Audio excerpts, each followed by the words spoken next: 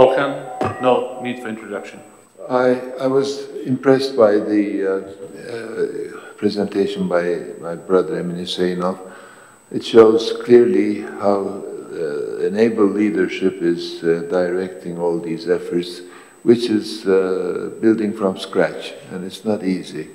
But I think it will be an example to other conflict areas where people have lost their homes and uh, don't have any uh, hope for the future.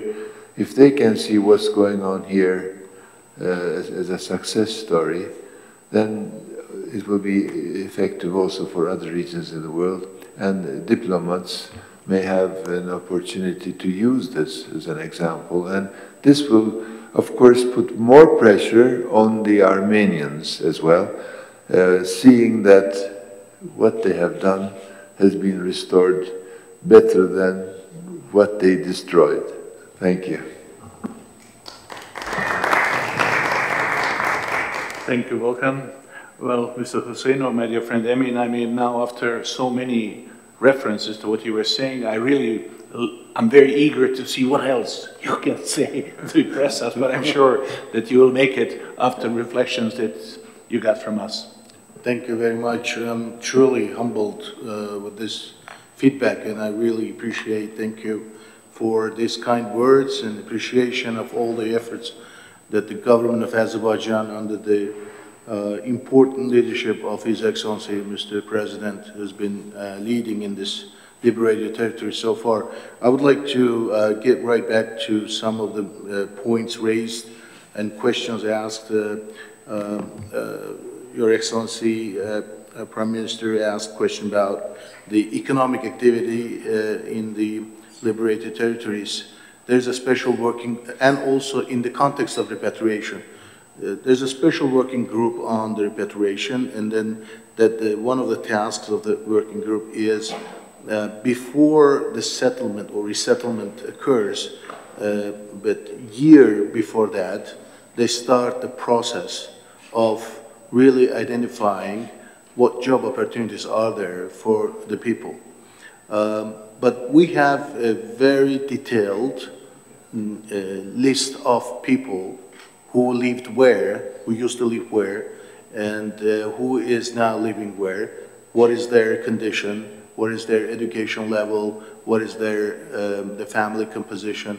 We have a specific list because we've been working uh, with these people. We have a special committee um, uh, called uh, Committee, State Committee on Issues Related to the Internally Displaced Persons and Refugees. And uh, but more of that, we know exactly about um, about 40% of IDPs they have been living in difficult conditions. So we are prioritizing them first. That's to start with. Um, so we really take care of that uh, group that have no housing or difficult housing. So that's one. The second, we really look at what they're doing. And of course, uh, there are potential job providers. Uh, most obvious one is the government agencies because some of these people are teachers, some of them are doctors in hospitals. So, you know, we have now schools, universities, you know, hospitals in the liberated territories so they can change their jobs. So they used to be doctors in, say, uh, Mingechevir. Now they can be a doctor in Agdam, you know, so even better conditions there, you know.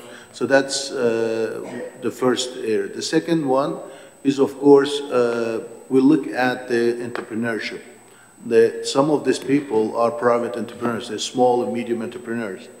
And we actually ask them, um, you know, what, what do you do? I mean, they have a market or they have a, a small warehouse. And uh, we can provide them with the better conditions in the new resettled area and they can shift their business there. So that's more sustainable. That's very important. Third, they, uh, some of the people uh, there are, uh, you know, they, they have no profession. They have only secondary education and they need some retraining to be able to take on the jobs that we're offering them or available. So for that purpose, we are contacting with the Ministry of Education and Ministry of Labor so that we can put together a vocational training courses. So that also is part of the process. And uh, at the very end, if we find people who actually have uh, neither uh, competencies nor education nor uh, ability to work, we provide them with a special social package uh, to do so, sort of self-employment. Uh, for example, um, you know, there could be some uh, sewing machine, there could be um, some, you know, cows, um, or, uh, you know, some um, uh, special equipment for um, doing some agricultural activity. So we provide them free of charge uh, for them to be able to sustain their livelihoods. And actually, this is uh, proven to be effective. Um, so we have three settlements already, uh, and all of them uh, have been provided with jobs, all the families, all the people, and they're very happy. And some of them uh, actually uh, say that, you know, even though they already assimilated in their previous places for 30 years, but they've been always thinking to come back. Now, with this example, there's, I see, I don't know, maybe my colleagues also uh, see that, but I see a growing interest of that community, of formerly IDP community, the wanting to come back. They see the conditions and the, the pace and the, the satisfaction of uh, people who live there, the pleased uh, with the conditions available they actually want to come back. Now, just one statistics. At the time of occupation, only 26% of people who were first forced to leave, uh, to be deported, uh, only 26% of them lived in urban places. And where did they go? They went to urban places. For 30 years, they became IDPs in urban areas. So now 52% of them they've been living in urban areas. So now we're asking them to come back to rural areas. It's not going to work. That's why we're taking that into account. It's a priority given to restoring the urban areas first and restoring them with the technology available now or to be available soon, the best that exists. And Karabakh conflict is unique in that sense because it's been 30 years. I haven't, seen such a you know long-term conflict where people have been IDPs uh, for such a long period of time, and this time is a very interesting period of mankind. That end of 20th century, beginning of 21st century, this is when the fourth industrial revolution occurred. This is when the technology has developed. You know, people are not the same who used to be for 30 years ago. 30 years ago, we didn't have iPhones. You know, we didn't have ability to call each other on video calls, you know. And the, the, the vision about the, even the living space has changed. So that's why we are going to use the best new technologies also in construction, also in uh, the economic activity. Now, in terms of economic activity, I want to underline that in the beginning of the process, I didn't mention it in the presentation, but we hired a major consultancy. The government of Azerbaijan hired a major consultant company. I don't know if, you can, if I can call the name of the company, the BCG, um, to do a special study on how to organize economic activity. What will be the, the uh, feasibility study of the economic uh, integration of Karabakh into the rest of the economy of Azerbaijan and the economy of the region. And all these ideas that uh, we see now, we've done a comparative advantage analysis. Which region has what? For example, Shusha is a cultural touristic destination. Now, uh, of course, we have Fizuli, which is a transport hub because all the communication lines goes through there. It's a, you know, uh, the Fizuli International Airport, the Zangezur corridor, you know, the, the Fizuli Agdam Highway, which is now going to be completed soon. And then Agdam is an agricultural and industrial center. And we have, uh, you know, Zengilan, uh, agriculture, we have Gedebe, uh, the Kalbajar, which is mostly the health tourism. So we have this detailed analysis for each region.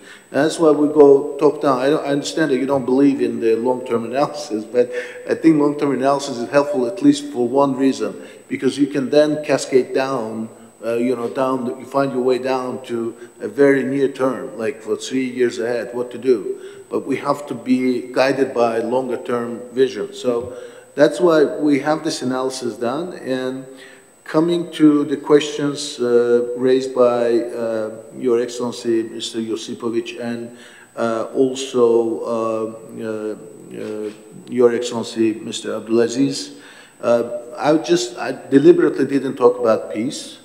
Uh, but uh, just wanted to make two points, one on peace, one on reconciliation. Um, I recently visited Hiroshima um, to attend the Mayors for Peace initiative. You know, uh, Agdam is referred to as the Hiroshima of Caucasus because, uh, like Hiroshima, Agdam was destroyed completely. And the mayor uh, of uh, Hiroshima, he, he was talking about peace, and he said, um, signing a peace treaty is not the peace itself. It's acknowledging and forgiving and accepting. It's that point when the peace starts. So um, we are hoping that we're getting into that point, but our job uh, is to make sure we have the, all the underlying infrastructure in place uh, before the peace, uh, you know, can uh, can be uh, started. It can help the peace process. But in terms of reconciliation, uh, if done right, I believe, I truly believe this, uh, what we do, what government of Azerbaijan does, once this area will be rebuilt, reconstructed, restored, it will serve uh, all the citizens of Azerbaijan for many, many years to come. And I underline the word the citizens of Azerbaijan.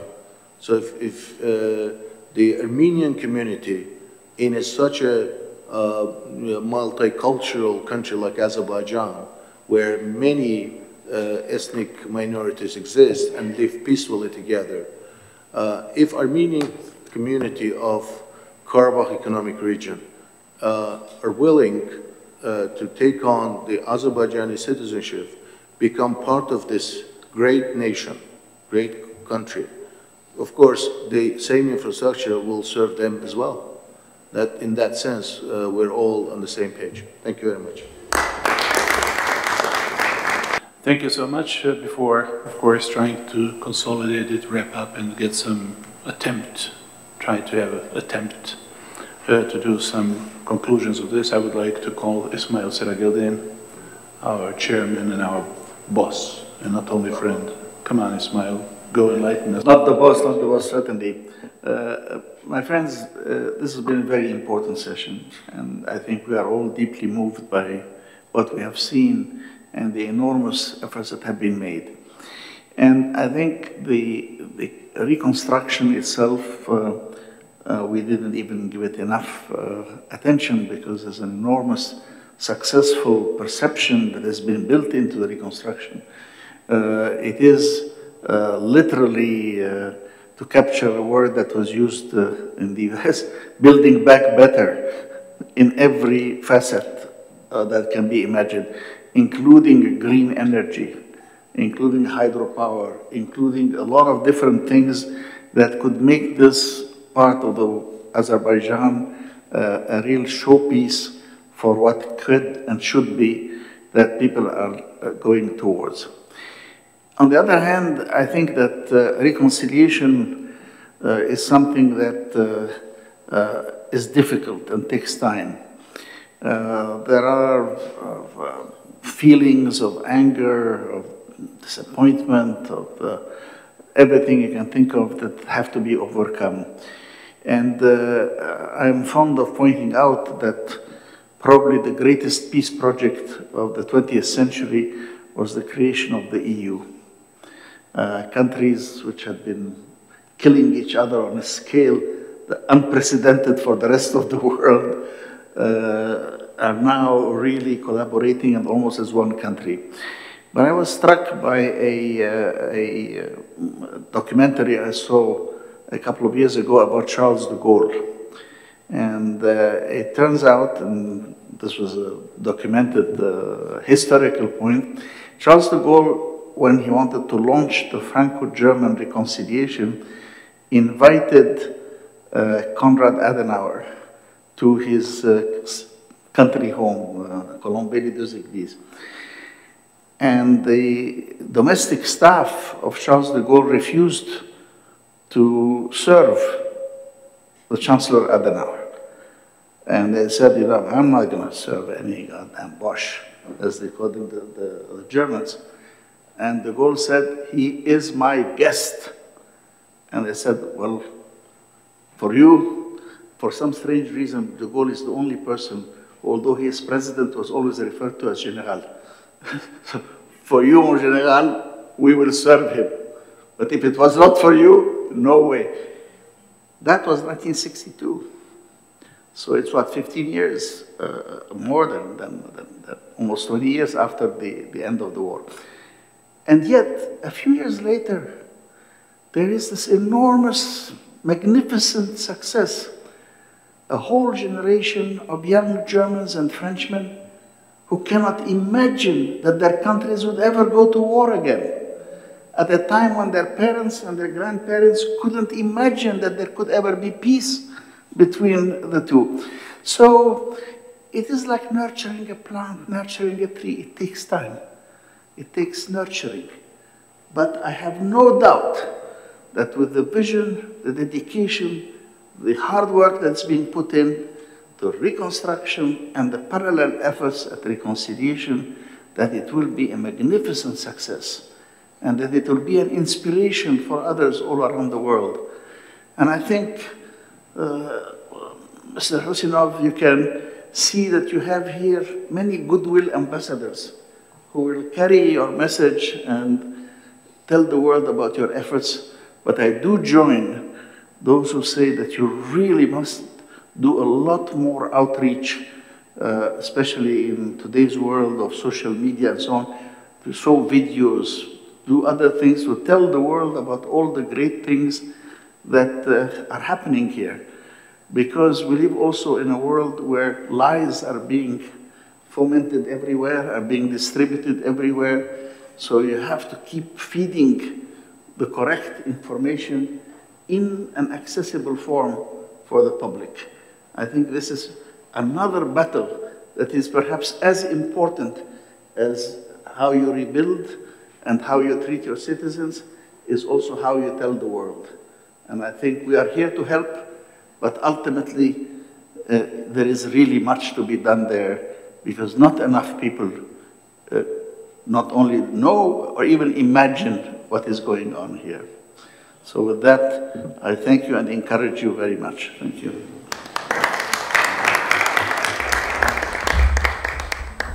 Well, thank you all for, for all your interventions, discussions, thoughts. After video uh, that we were watching and uh, after 17 interventions, 17 interventions so far, including mine as a 17th, uh, we are coming to the conclusion of this first panel. Uh, of course, it's hard to speak after L5 or 5L. For you, 5L is lifelong learning Las Leonardo. That's Ismail, my friend. That's how I call him, and he taught me about those things that you have to learn and learn and keep your life learning.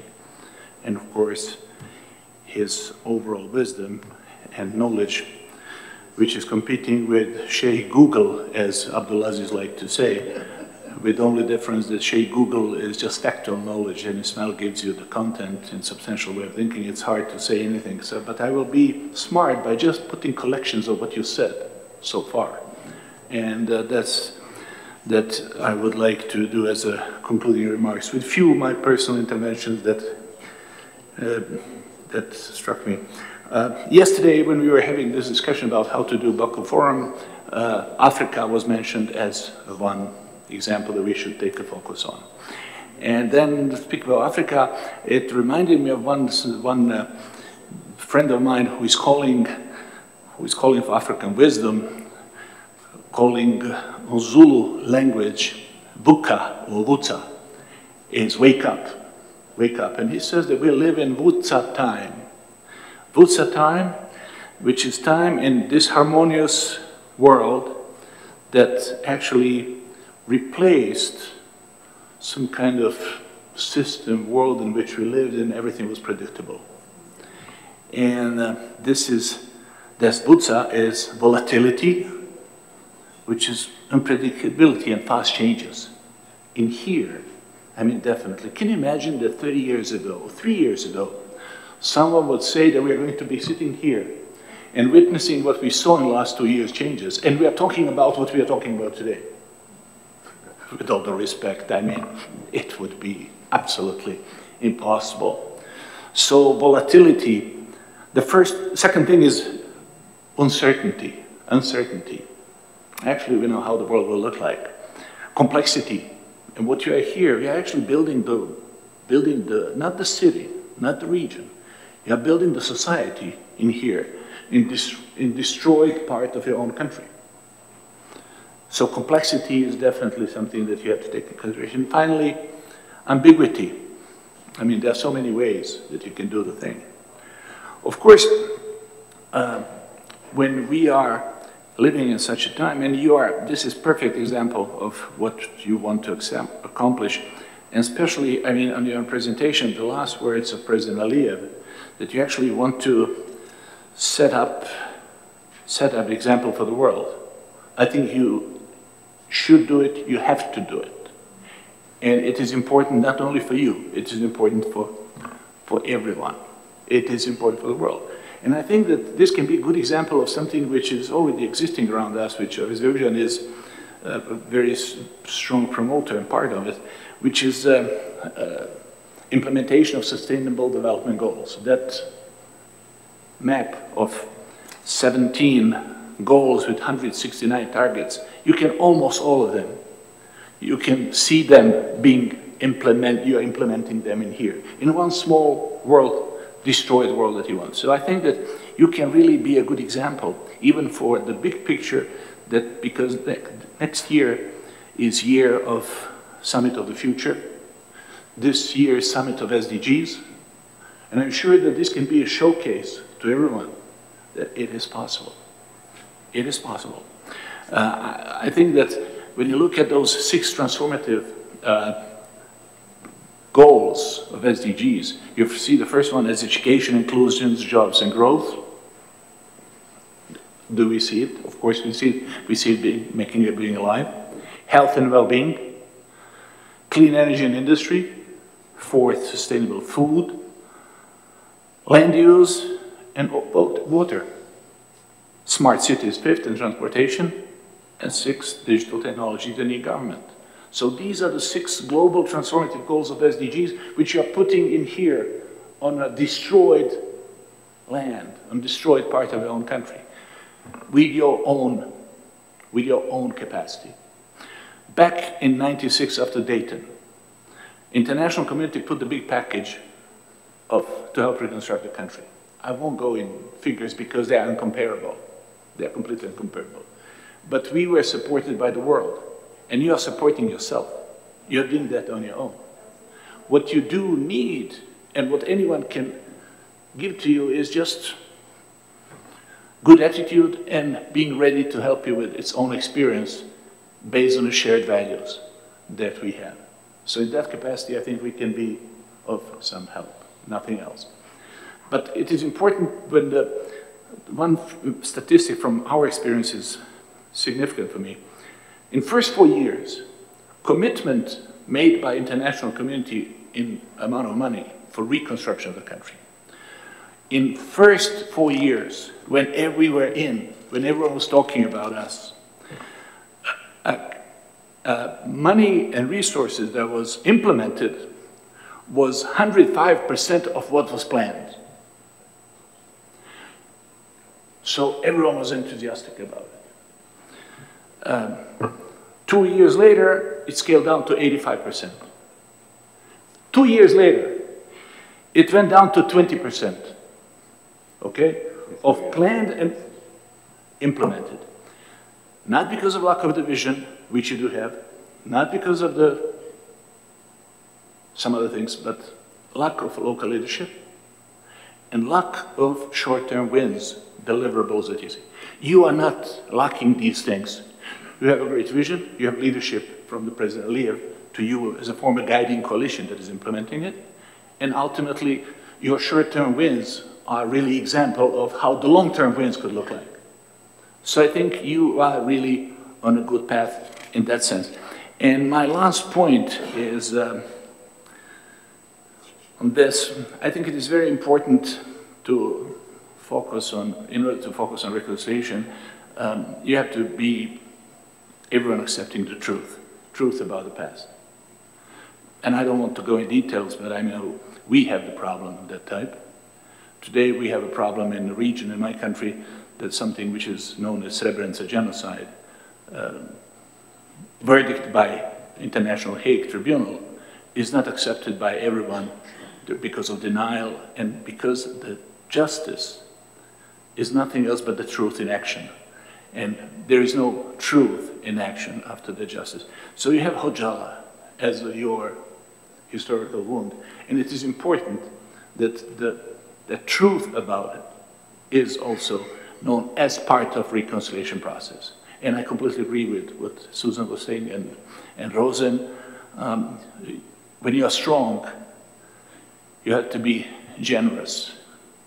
You are strong. Your yesterday's opponents actually are on their knees in very many aspects. Maybe not technically speaking, but literally, I mean, basically speaking, you're the winner.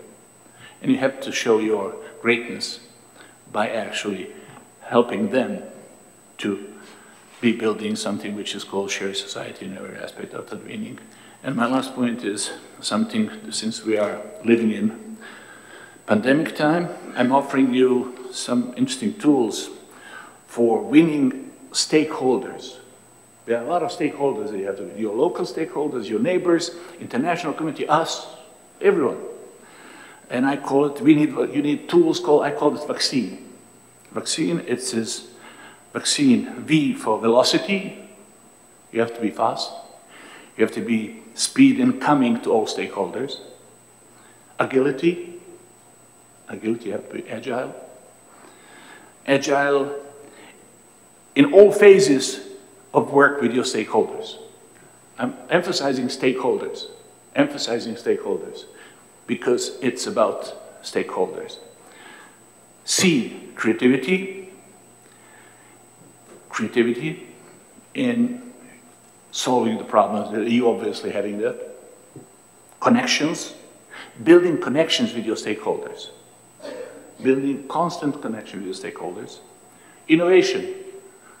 Uh, I mean, Joseph was talking, some other were talking, you cannot do, you do not rebuild the old system. You don't rebuild what was here.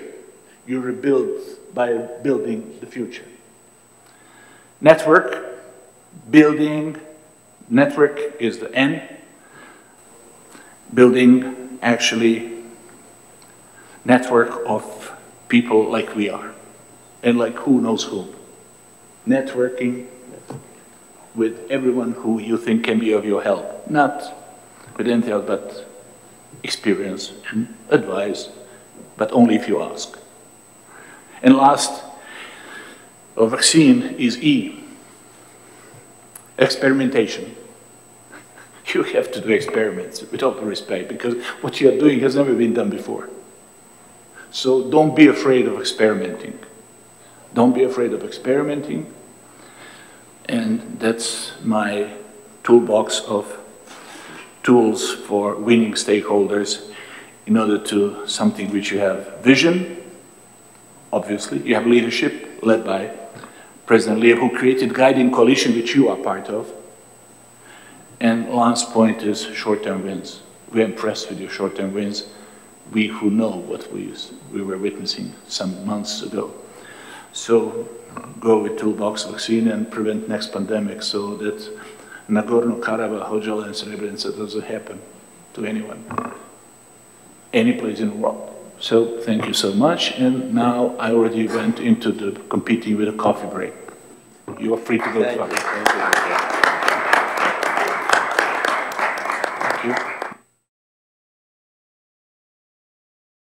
So from discussing about the society reconstruction, as Latko said, so we were speaking about the, the body reconstruction, the skeleton reconstruction of this society, about infrastructures and so on, but also about economy. That means the muscle of that body. So skeleton and muscle. But we need also to speak about the spirit, the soul of that body that we are, uh, that not me personally, but these people is reconstructing. That is Karabakh. So uh, let's shift then to speak about the spirit, or if you want, the soul of this cultural heritage and values, the spirit of a community. Because cultural heritage means exploring the richness and diversity of the cultural heritage that allows people to connect with its roots, understand history, and appreciate the traditions and customs that have shaped this society, that have to reshape this society. And uh, recognizing the importance of preserving cultural heritage helps safeguard the identity, as it provides a sense of continuity and belonging for the future generations. Cultural heritage acts as a medium through which shared values are passed down from one generation to another, promoting social cohesion, ethical principles, and a sense of civic responsibility. Embracing and celebrating the shared cultural heritage fosters a sense of identity and pride in the community, promoting a stronger sense of unity and belonging. And speaking about cultural heritage and shared values is also speak about cultural diplomacy.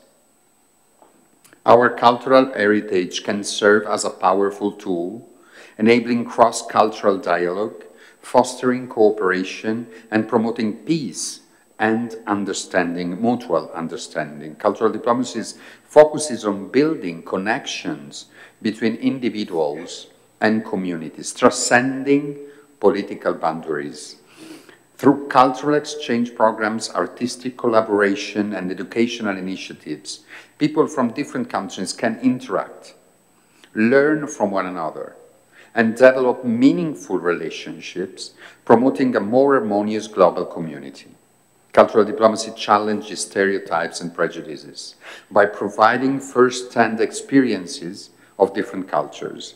It helps break down misconception, combat discrimination, and foster empathy as individual gain, a deeper understanding of other cultures, their histories, and their values.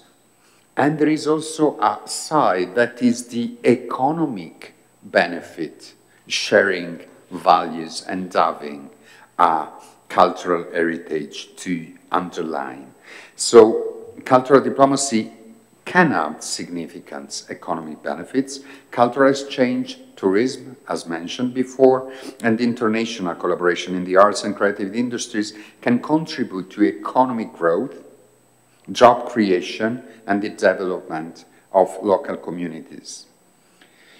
And also cultural diplomacy has the potential to contribute to conflict resolution and peace-building efforts.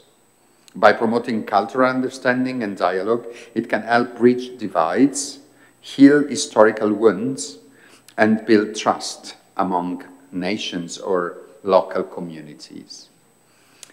Cultural exchange and joint artistic endeavor can serve as platforms for reconciliation and mutual learning, paving the way for diplomatic solution to conflict.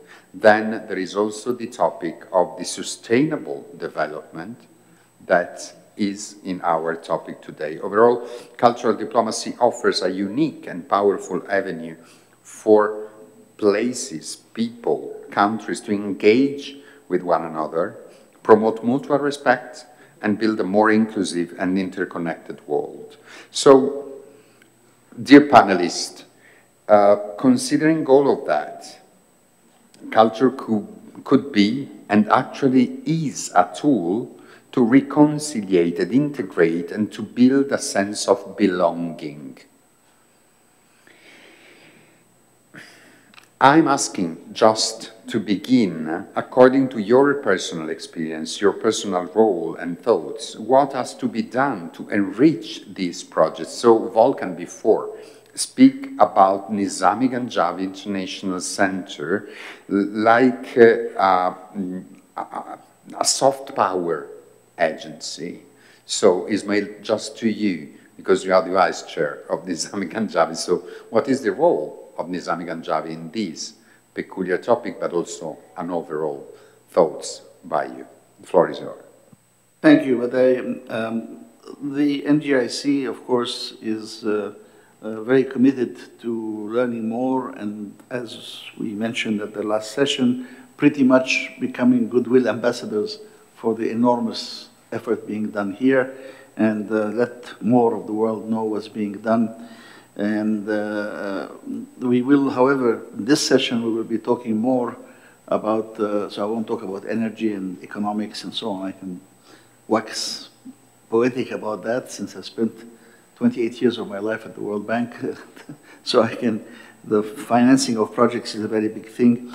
But uh, here there's something specific I want to say about the financing, which I will bring up.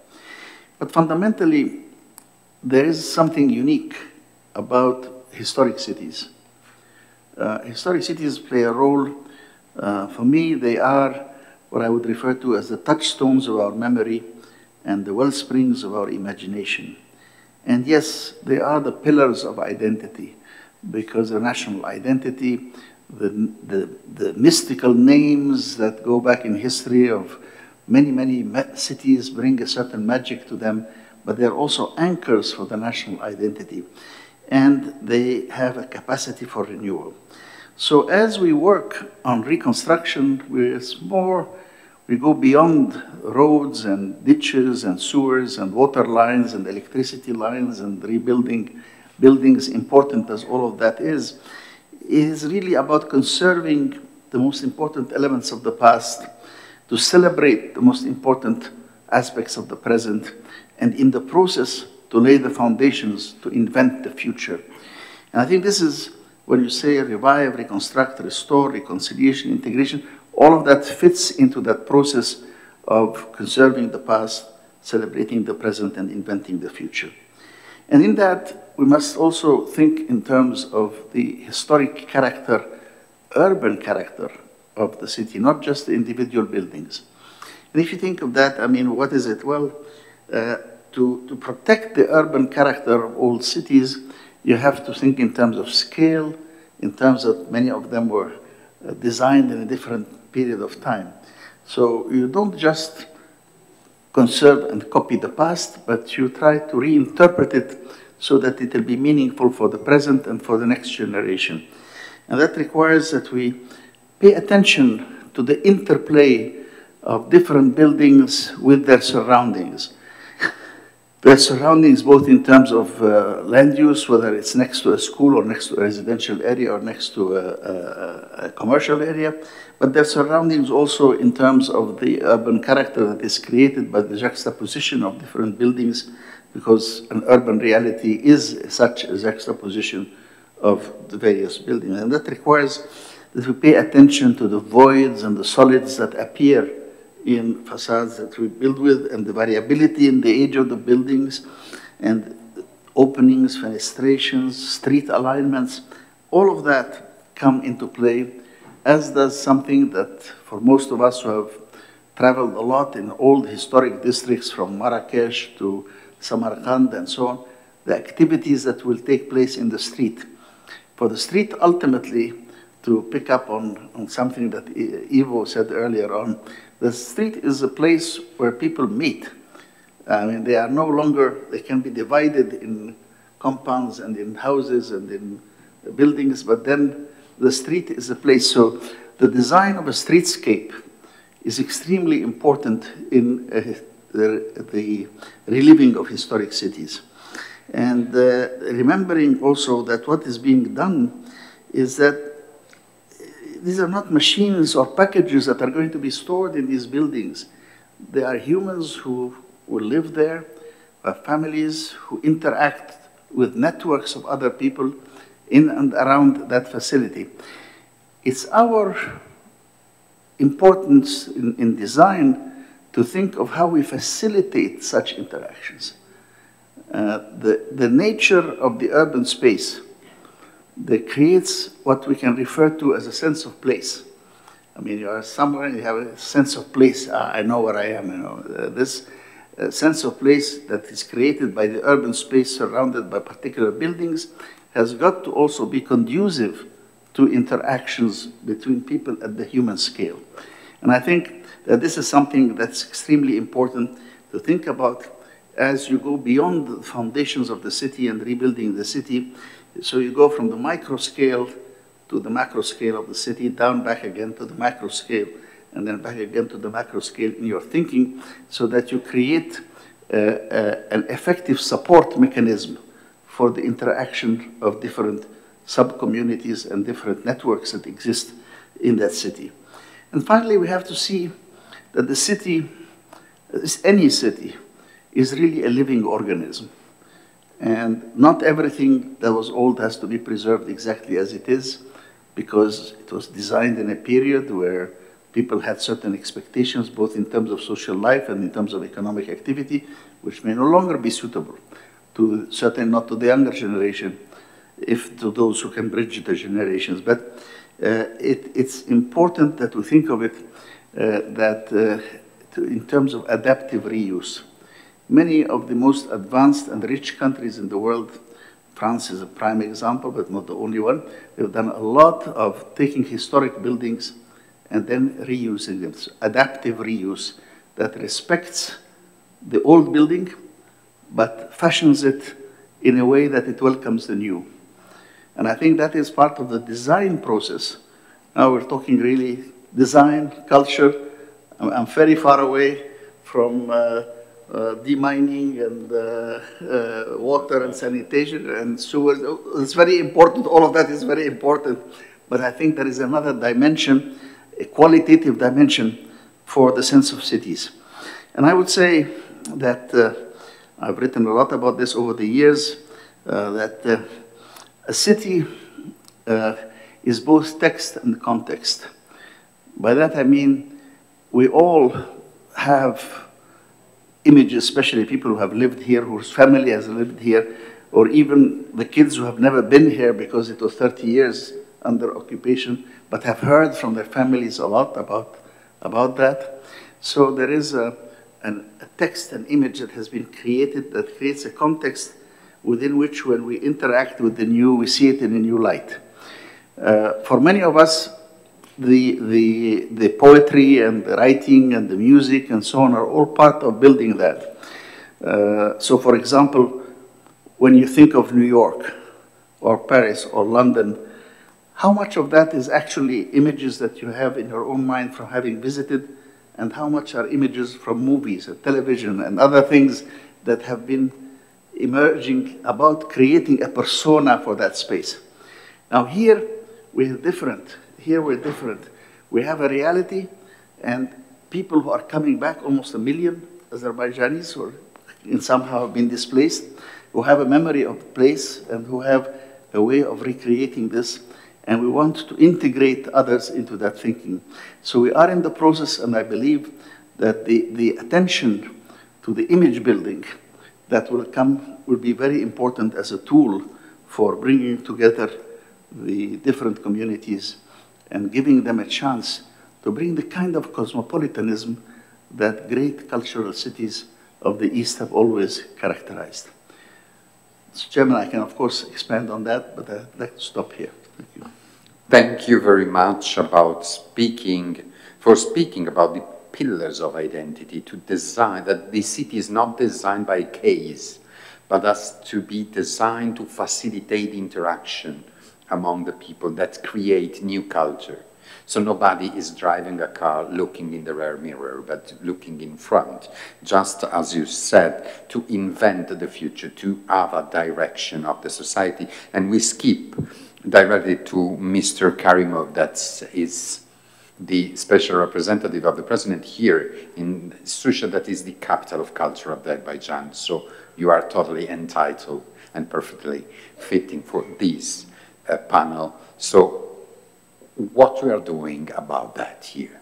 Thank you. Thank you, Mr. Zakiroli. Um, speaking about uh, rebuilding and reviving a cultural capital of one nation is, is not easy because um, I'm sure there are not many examples in the world in the history of, uh, of such scale. And given the time limits we have to implement the plans, ideas uh, in this area in restoration of cultural heritage of Shusha uh, is also brings us under certain uh, certain way of implementing it in a uh, very with, with a very special attention because uh, but we have some advantages, I would say also. Uh, you may ask what kind of advantages. First of all, when we started the reconstruction and restoration process here, uh, we started with planning. So today, because when we were talking to you last year, we were in the process of finalizing it, we have now on our desk a master plan of Shusha, which is a very delicate and very detailed plan, street by street, quarter by quarter, building by building, and it reflects how the city will look like and develop in the next 20 years. This will be a city of more than 20,000 people living permanently. But this will be also a city which will have to be able to accommodate uh, two, three times more tourists and visitors coming uh, to see this cultural capital. In the same time, the challenge of uh, implementing of this master plan, what we are doing now, is linked to the very atten big attention that we pay to the cultural heritage preservation. You know, we talked about this number of times. We have about 200 historical monuments in this city, which is from the area point of view is quite small. It's only 500 hectares.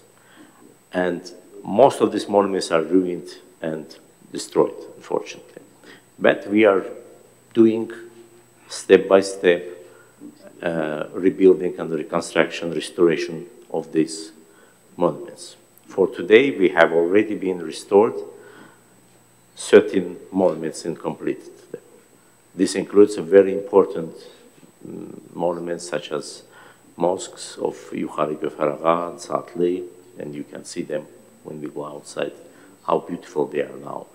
You can see the mausoleum of Vagif, which was restored among the first uh, buildings, and a number of other important monuments.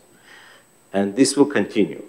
This is a long-term process, which uh, also puts us under certain responsibility that sometimes we have to take this decision that whether we do restoration quickly, start this, or we better keep it for later stage, because to destroy something is easy rather than to restore. So we better go every building, every monument, item by item, analyze them, survey them, and then decide, okay, we do these next two years, we do these monuments, we, or, and we do conservation for other monuments.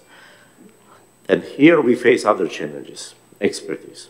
Yeah, we, Azerbaijan had a tradition of the restoration school in certain time of Soviet Union and also, but after the breakup of the Soviet Union, it's not secret, uh, and the lack of uh, financing in the 90s, this uh, uh, school of restorators mm, became very, uh, very poor. And currently we face a shortage of good skilled labor and people. Shusha gives opportunity in the same time for all of us because it's open air laboratory for restoration and cultural heritage uh, uh, rebuilding. And uh, here we really appreciate the assistance that we receive and the expertise we receive from our colleagues from worldwide. Shusha trying to put its name also in the international arena by means of signing and partnership and sistership agreements with various cities. Today we have uh, eight cities. Uh, just in last year we signed this agreement, agreements and partnerships with uh, eight cities, including two of the, from the European Union. We became a member of the World Conference of Historical Cities, which comprises 120 cities worldwide. Uh, and it's not just, uh, for us, it's not just uh, uh, some formality. We, we are keen to develop ties with our uh, international partners and communities of cities to have a exchange visits, to uh, learn more about how to uh, work with cultural historical heritage, as well as how to develop historical cities. As Mr. Serageldin just mentioned, the uh, cities, uh, historical, living in historical city is a big privilege, but it's also a big responsibility to uh, think and to implement projects in developing it. When you put in cable under the street uh, or uh, the water pipe, uh, it's, it's, it's quite a huge task sometimes uh, when you do it in the historical uh, part of the city. What I want also to uh, pay your attention to one important fact. We spoke about return of population, and my colleague Emin uh, earlier spoke uh, quite very, gave a good, really interesting presentation about the scale and plans that we have. Uh, uh, Shusha also is a part of that plan that during the next four years, uh, as a part of the first program of the Great Return, which has been now being implemented, we will bring here a few thousand people back. But bringing people back is one part of this process. The most important part of this process, I think, and I believe, is that to make these people living in comfort in the cities. And if you are bringing people to cultural capital, it brings another value and also another responsibility, which is uh, that people who used to come back, they will have to need to think, especially young people, we have to think about their employment and synchronize the return of refugees with the employment opportunities. That's one, one of our main tasks. Uh, cultural uh, heritage and uh, tourism is a part, is a pillar of the economy of Shusha, and we are keen to develop in that way.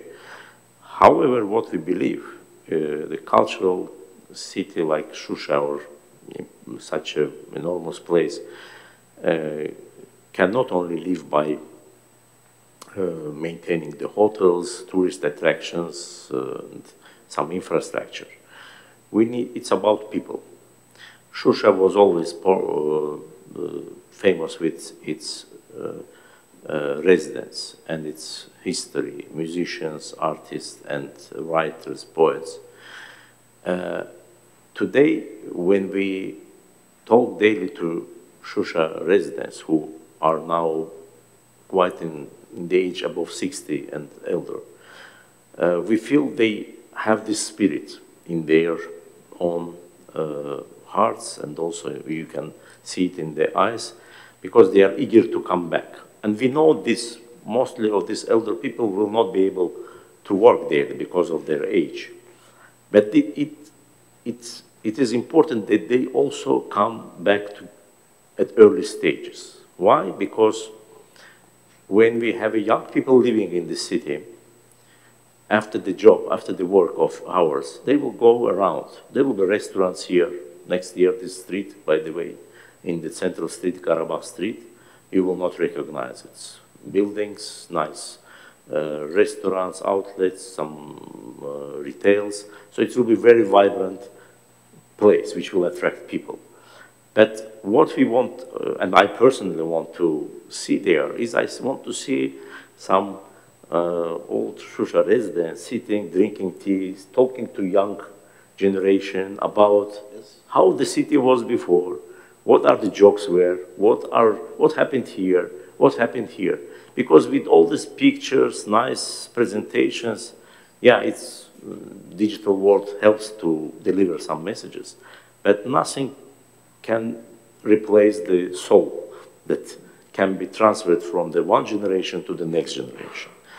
And our job here, I think, is also important, is to make the environment comfortable for that. So people living here with very bright, uh, interesting ideas, with uh, a good hope for the many, many years ahead, how the city will develop, and they will contribute to this development themselves. And I want to stress one issue also, and I think Ms. Uh, Elliott also mentioned this, and some other speakers, that we, uh,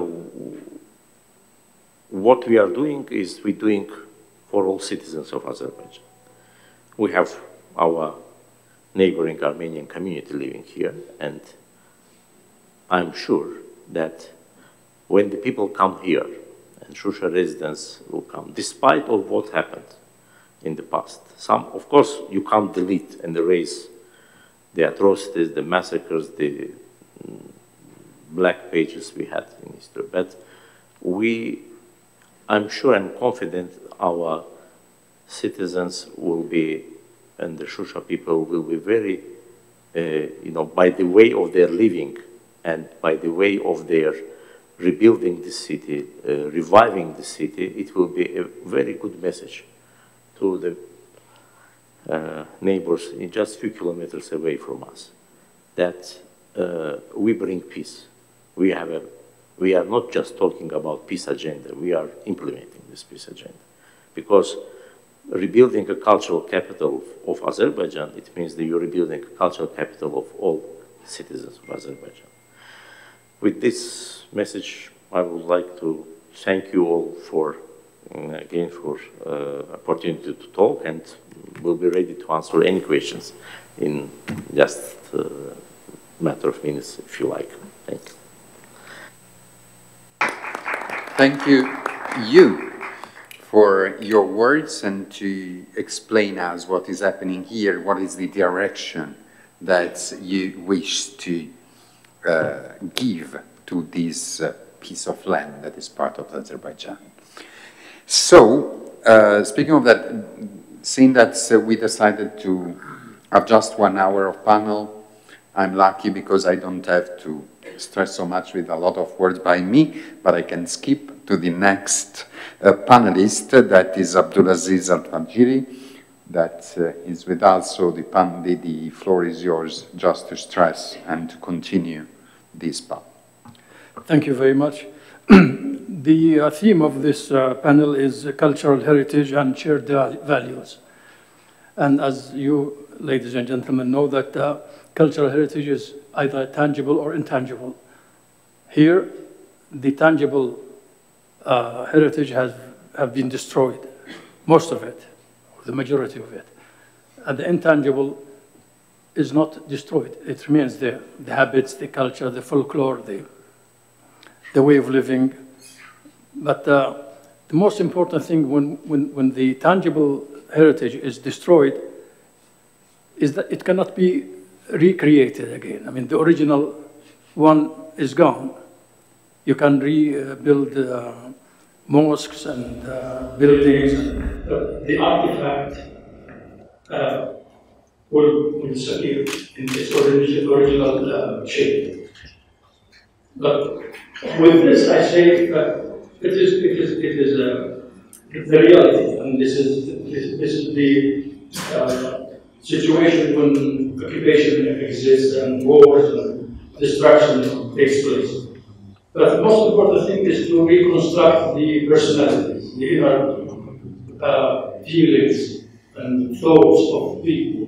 Because they, they, they bring with them the, the, the atrocities, the miseries, the hardship, the uh, animosity, and this has to be cleared away. I mean, it, it needs a, a tremendous effort by both parties, by both uh, uh nations uh, in this particular case, to uh, re-educate the young generation and uh, implant in their minds and in their hearts uh, tolerance, uh, forgiveness, uh, rapprochement, and reconciliation, so that they start again as one nation to build their countries and to forget the miseries and the atrocities and the uh, hardship of the past and put it in, in the reserve. Don't bring it to live with you in, in, in this new reality. Uh, and this can be done with the intangible part of the cultural heritage. Music, folklore, cultural uh, manifestations, uh, food, uh, all kinds of, of, of, of, instruments that will make people uh, come closer to one another. And with this, there should be also respect for cultural and religious di diversity. We are diversified. We belong to different races, different uh, religions. But uh, in the, after all, and in the, in the final analysis, we are human beings. We come from the same race, and we have to respect our humanity. And do not allow the diversities in our cultural and religious backgrounds uh, force us to hate each other and to fight each other again and, and, and create uh, this kind of, of, of, of, miseries and destructions. This is an, an, important issue in the cultural realm, in the cultural uh, uh domain, and it, it is a, a, big responsibility. It can't be done by one part, by one side. It should be a collective uh, effort and a collective uh, project. And unfortunately, I would say this with great uh, sorrow that the other side is still not completely ready, like the Azeri side, to enter in a new horizon, in a new situation, a new reality, to remedy and, and solve the problems of the past and create a new, a new life for the two countries and their people to, to live in peace side by side and to work together for a better future for the generations of the two countries, and not only the, two, the, the generations of the two countries, but for the South Caucasus in general. This is a very important part of the world, and when peace and security is maintained, I think this will help in maintaining peace and security in other parts of the world. Thank you very much. Thank you very much. So let's skip to the last of our panelists, that is uh, Hedva Ser that she worked with UNESCO and also she works and stuff. So she worked a lot, not just with UNESCO, you work a lot. And uh, above all, uh, you already done something here in Shusha, and this is your experience that you bring to us that is possible to do already something in this city. Yeah, it was one year ago. It was last September. Yes, just your microphone is on mute. But I, I mentioned, yeah. I mentioned it already, uh, that last, last September. But repetita iuvant, as the Latinos okay? Last September, I organized here, I, I issued a, a, very interesting program of artists, international young artists coming from all over the world. And they were here 10 days in Shusha, they were working together. There, there was building bridges for peace. It's one of my programs at UNESCO that I'm godmother since 2012. And it was a big success. Why it was a big success? Because the environment of Shusha is very different. It's very inspiring. And they were working and so well. I saw the result of uh, the work in Baku. We had an exhibition. And they were so happy, you know, and there was the best way to connect, that's what is culture diplomacy, to connect through art, um, artists, and, and really to, to open the way to, and well, this is a new way which I'm working, which I'm doing about culture diplomacy. And if we talk now about Shusha, uh, when I was preparing um, a little bit, uh, I prepare a, um, some words, and I want to talk about culture, heritage, and shared value. This is my culture, heritage, and shared value play a significant role in shaping the identity and cohesion of communities and nations. They compass tangible and intangible aspects of society's past, including historical cities, artifacts, traditions, language, and practices.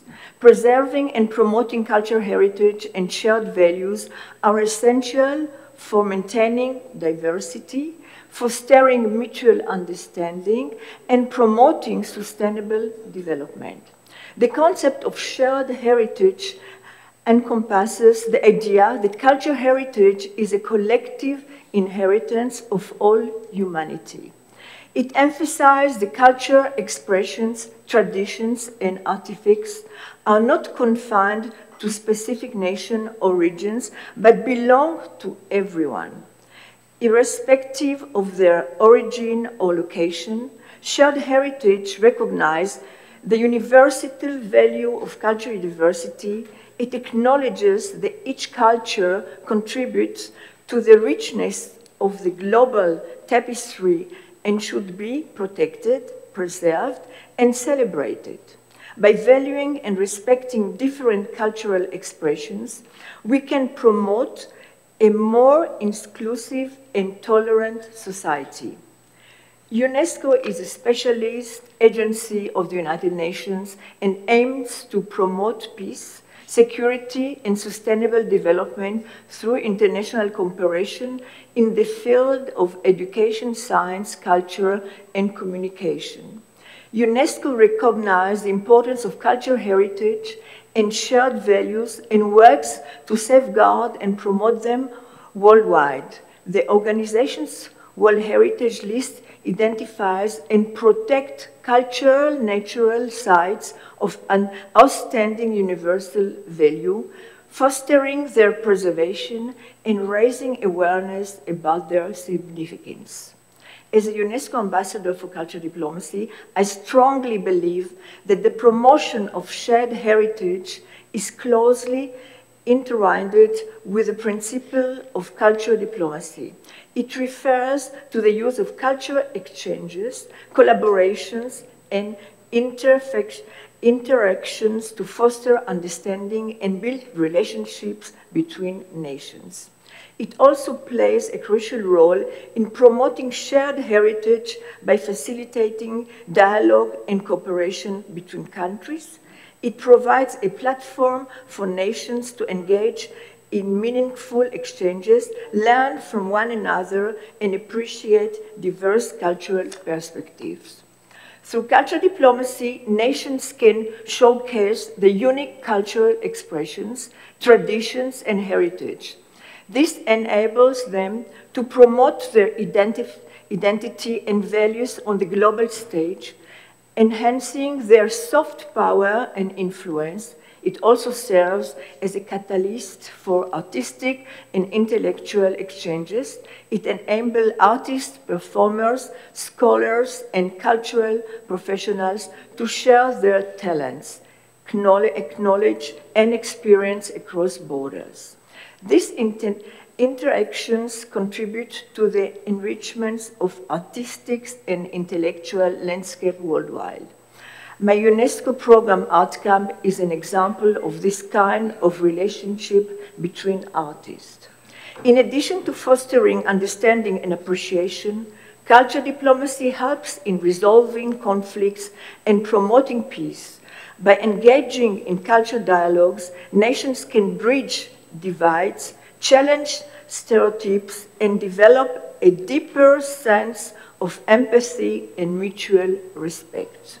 Shared heritage and cultural diplomacy contribute to the forming of a global citizenship mindset. They encourage individuals to recognize their intercon interconnectedness and shared responsibility in preserving and promoting culture diversity for present and future generations. In today's interconnected world, culture diplomacy and the concept of shared heritage have become even more crucial.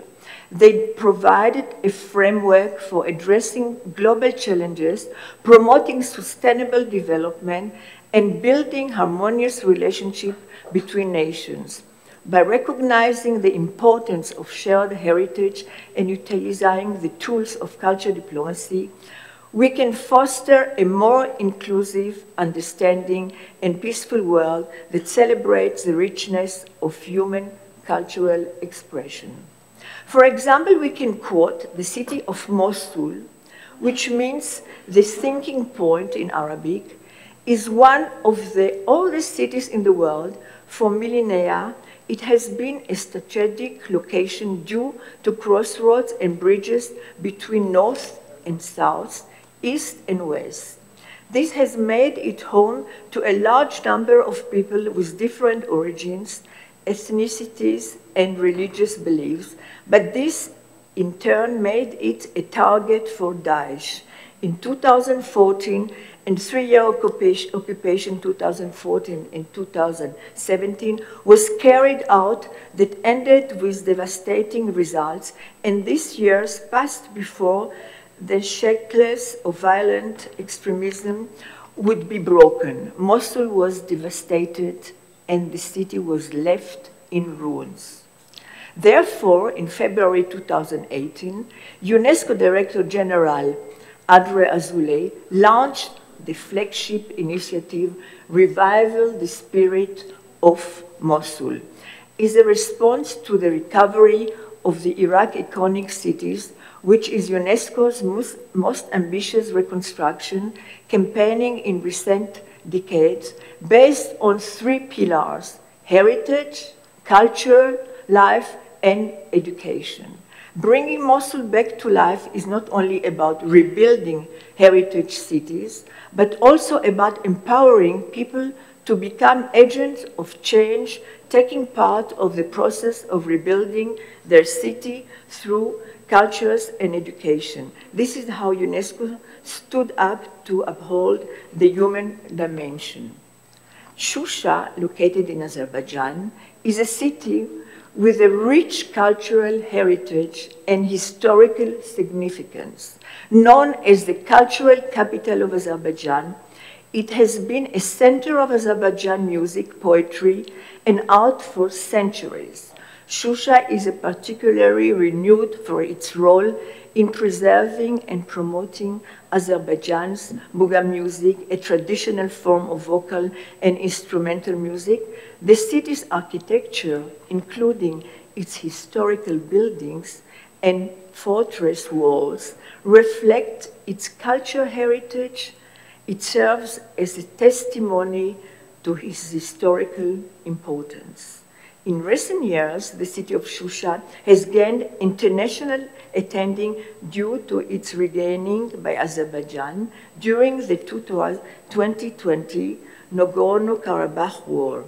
The conflict between Azerbaijan and Armenia resulted in the destruction and displacement of cultural heritage in the region. After Azerbaijan's victory, efforts have been made to restore and preserve the, uh, the cultural her her heritage in Shusha and other affected areas.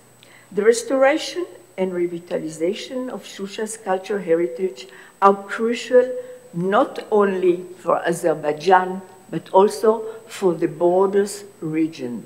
They contribute to the preservation of shared values, cultural diversity, and intercultural dialogue.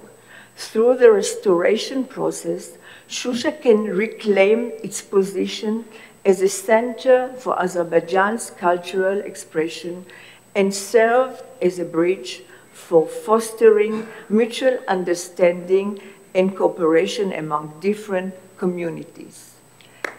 Thank you so much. Thank you so much, Edpa. Thank really, you. Thank for you your also giving, for giving your- me the opportunity to express a little bit the history and the shared heritage and shared value. Thank you. Yes, we have uh, 10, 15 minutes maximum. Better 10 than 15. But Rosen, you are on the first row, please. Yeah, uh, thank you, uh, my dear moderator. Just one fact and probably one idea. I'm always struck about when you compare hard power, soft power, and especially investments and efficiencies of hard power investments and soft power investment. Just look at the United States. There was a war in Afghanistan, $6 trillion, 4,000 American soldiers killed, 60,000 locals killed, million, million displaced, and it didn't contribute to the good name and reputation of the US. It was a total disaster. $6 trillion. Look at the Iraq war, another $2 trillion. Look at some other activities. Uh, in a very honest debate in the American society, they would say we throw out of window $10 trillion and they didn't contribute to our good name and reputation. On the other side, look at the Hollywood, look at the tech companies. It doesn't cost nothing to the American government, but it just projects America as a great, wonderful society, and country. Everybody loves them. Look at Turkey, for example. Turkey developed a very smart uh, soft power strategy. Uh, I think it was 10 years ago. And today, all over the region of Southeast Europe, but also beyond, hundreds of millions of people are enjoying Turkey movies, Turkish cuisine, Turkish histories, Turkish this and Turkish that, and Turkey was very smart and it was planning it and it was executing it very well and didn't cost nothing because it was also a PPP. It's a public, public-private plus government together into projecting Turkey as a planned and very successful soft power approach. And that made a difference to all of us. And we enjoy everyday Turkish, for example, movies. In my country, when I was a head of state, I was thinking about undeveloped regions. What can we do? And to project them as a soft power also. And for example, we started two initiatives that were very, very, very successful. The one was we were building in small villages, poor, no work, uh, community centers. And those community centers played really a miracle role, bringing people together. Second, we brought a lot of festivals. And I could imagine, that's my first idea, Karabakh dances, Karabakh sings, Karabakh is doing that, Karabakh is doing that. Just festivals, people coming together to share. And uh, I have to say, it's going to be definitely a big success and also will boost local economy. Second, please think about community centers because what happened in my country, uh, Bulgarians from the poorest regions dancing in the community centers together, young, big, small, all of them, they started putting videos internet and then we came to a situation as uh, actually Bulgarians all over the world are dancing. Those dances and those songs they became very popular. And even today in the US we have for example half a million Bulgarians and two and a half million Americans dancing with the Bulgarians just because internationalized in one and the other way. So I would wish to you that Karabakh will project itself as a soft power and will be all of us dancing and singing with you. And NGIC can play a very important role to help this strategy being implemented. We're with you. Thank you. Thank you very much indeed about this practical example from your country, but I think that's maybe someone else's wish to put a word in that. Otherwise, I'd like to have a round back to Ismail just to try also to, to, to take these suggestions. Uh, thank you. We will take these suggestions on board, and I think we are all uh, very committed to, uh, to ensure that the soft power that uh, we feel when we come here can be projected elsewhere.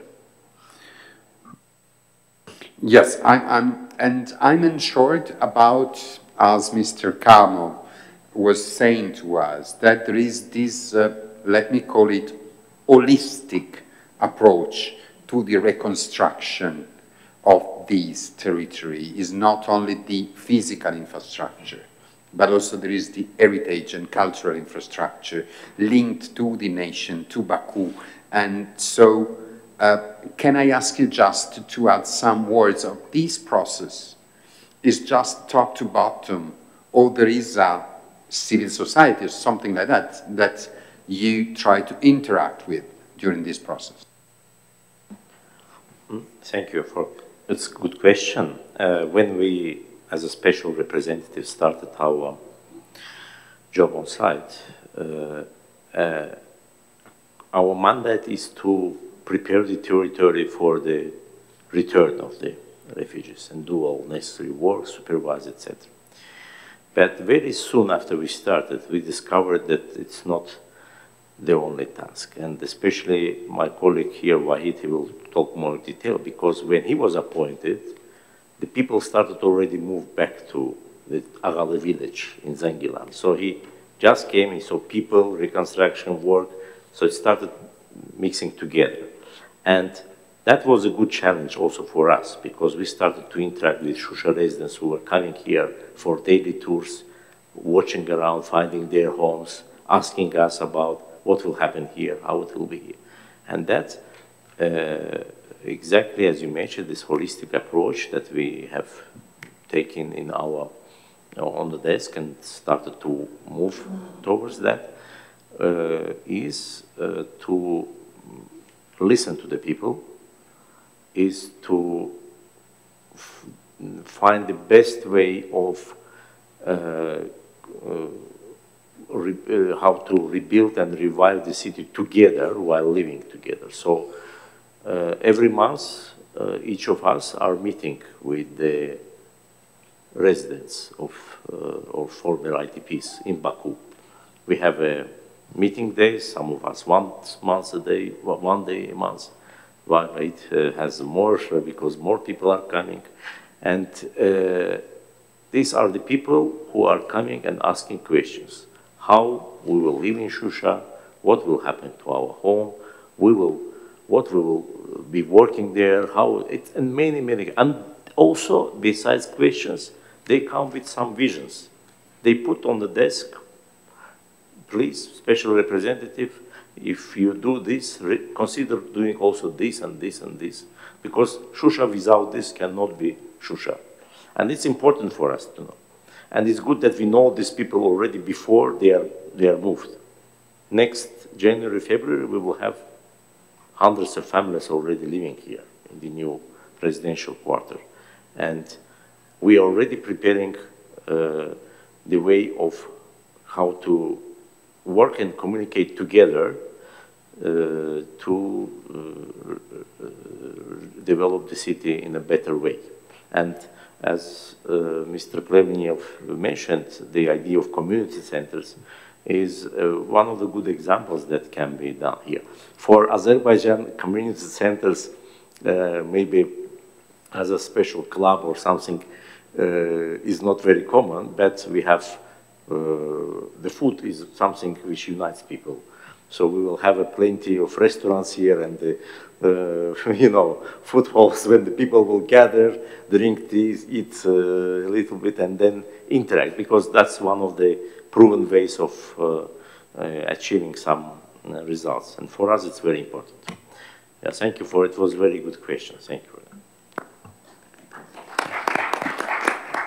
Thank you so much. I think that could be part, if there is no other people that wish to intervene, is part of the holistic approach also to go to the lunch.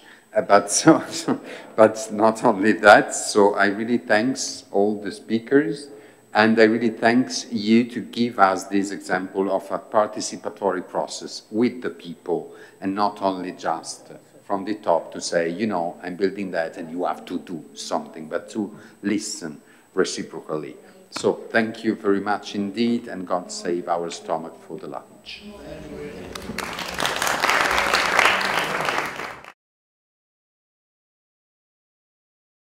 And um, I would like to say that I'm also impressed uh, with what I uh, saw during these uh, days uh, here in Shusha and in Karabakh in general.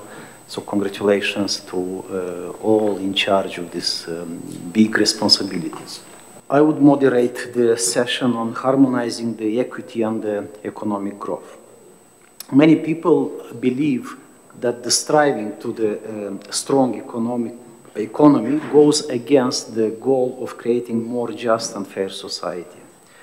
Um, at the end of the day, harmonizing equity and economic growth refers to the process of balancing the economic growth of a society within distribution of the wealth and the resources among its uh, members. It involves ensuring that all the individuals, regardless of their uh, background or circumstances, have access to the resources, have access to the uh, opportunities. The, some of the key questions uh, that um, uh, needs to be considered while we are talking about uh, uh, equity and economical growth and the harmonization among these two are like how we can ensure that from economical growth, everyone in the society is getting the benefits, not just a few selected ones. Another question can be how we can create fair and just society while promoting the growth and the, the, the economical development. And uh, how we can make sure that uh, a certain group of people, let's say women, uh, minorities, or low incomers, they will have the same access to the opportunities and, and resources. And also what is the role of the government, of the civil society, or, or, or of the uh, business or private sector in creating more equitable um, society. However, um, I'm sure the, the, the panelists that are going to talk today with having their experience, uh, political and economical, uh, besides them, uh, will be able to tell us not only about economic growth and uh, equity, but also about the harmonization among these, uh, these two. And I would present the team that would join the discussion uh, um, will be represented by uh, President of Montenegro, Filip uh, Vujanovic, President of Croatia, Ivo Jos Josipovic, and the special representative of the President of Azerbaijan, in uh, Zangilan district, Vahid Hajiev. Mr. President of Montenegro, the floor is yours. Thank you, Kirill. Everyone is delighted seeing achievements of Azerbaijan concerning Karabakh, and uh, I wish uh, all representatives, the government and President Aliyev to realize everything that they were planned. Our visit to Karabakh and Shusha has an intention to affirm Azerbaijan's state policy to ensure the economic, demographic, and cultural reintegration of liberated territories of Karabakh into Azerbaijan, and to confirm the intention of Azerbaijan for reconciliation. Reconciliation will be the most sensitive and long-term strategic goal. After almost three decades, the Western Balkan didn't succeed, succeeded in having reconciliation. I share opinion or excellent view of our friend uh, Abdulaziz about problems of reconciliation, and I think that it is a very slow procedure which uh, depends on many, many things reconciliation will be the most sensitive and reconciliation requires three prerequisites and I am happy that these preconditions are being fulfilling in Azerbaijan.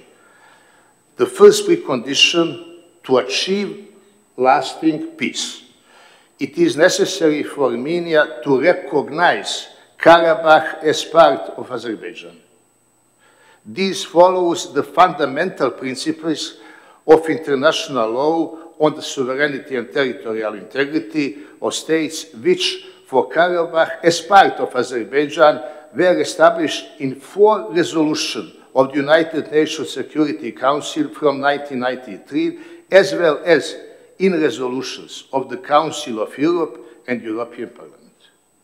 I think that is unusual, absolutely, that almost three decades of that resolution, this view of the United States uh, is not realized. It is necessary to finish it as soon as possible concerning uh, Armenia, Azerbaijan, and this region.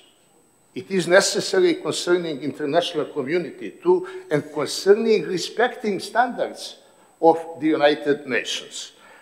The second precondition to ensure the return and protection of refugees and displaced persons in Karabakh, which was determined by the resolution of the United Nations General Assembly in December 1993 and the decisions of International Court for Human Rights in Strasbourg. It is so important to provide all to be here and to build their life being in Karabakh and to support uh, development of Karabakh with all persons here with the government and with leader of President Aliyev. And the third precondition to ensure full protection of minority rights of Armenians living in Karabakh and Azerbaijan expressed very clear its readiness to provide it. And I think it is so important and it is so visible that uh, Azerbaijan has willingness to realize it as soon as possible. It is a great importance to emphasize that this readiness is so visible and uh, during our meetings with President Aliyev, we were occasioned to see that he is determined to do everything to realize it. It is uh, very important. President Aliyev messages of numerous meetings with the NGIC were encouraging, especially, especially regarding reconciliation and readiness to work with Armenia to develop good neighborly relations for the benefits of this region after the settlement of uh, Karabakh issue. I am confident that these days are coming and look forward to witnessing the next step in this regard. The recently expressed willingness of Armenian Prime Minister Pashinyan for Armenia to recognize Karabakh as a part of Azerbaijan with firm guarantee of the rights of Azerbaijan living in the, this region is one of the steps essential for the final resolution of the conflict. I'm so happy hearing his message. It is so important. And it is, I think, consequence of long-lasting diplomatic activities. And I think that it is very significant to recognize Karabakh as part of Azerbaijan as soon as possible. It is precondition, it is necessary, it is respect of international community, of international organization, it is respect of reality. The state policy of uh, Azerbaijan invests huge resources and gives uh, persistence and patience to full and permanently integrate this very significant part of the country. It was impressed that project proposal of the Azerbaijan government and President Aliyev are realized and it is sure that it will be realized as that planned. Wishing success to this important part of Azerbaijan state policy, I express my satisfaction that NGIC has been deeply committed to uh, this mission since establishing the Institute. I wish Karabakh all success, and I am sure in success of Karabakh. Thank you for your attention. Thank you. Thank you, Mr. President Vujanovic.